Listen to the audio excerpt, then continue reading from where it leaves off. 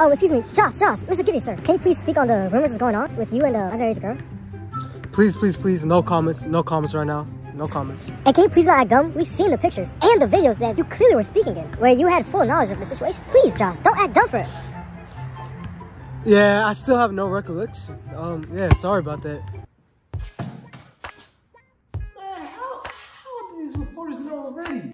I knew I was gonna get caught, but I thought at least have some time, like some Karl Malone type time, and you know what I'm saying? I thought I was gonna at least make a name for myself. I'm only 20. They can't cancel me.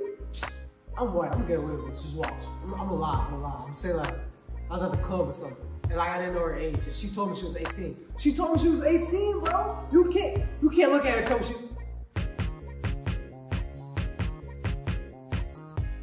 Nigga's sick. Okay, man. You want me to tell you the truth? I didn't know how old she was. You know how BL's out of the clubs, whoop de whoop. She said she was 18. I'm only 20. I didn't. I didn't think it was that big a deal. I'm what? I found out that's she was not, 17. That's not what I happened. apologize. What are you talking about? Josh, Giddey, can you please stop lying?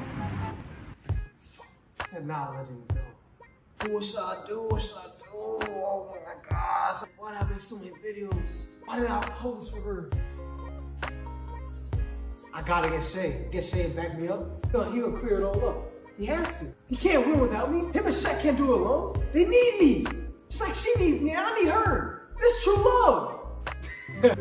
Um, excuse me. Like I said, no more questions. But I know Shai has my back through thick and thin. So whatever I got going on, I know Shai gonna, you know, he gonna be right by my side. Ain't that right, Shai? I don't know you like that, nigga.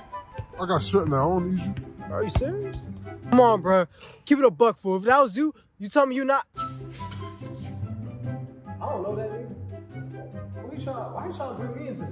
Oh, we we got we got picks. Shit doing good. I'm doing great, bro. We don't need you, bro. Don't bring me into that, you sick motherfucker.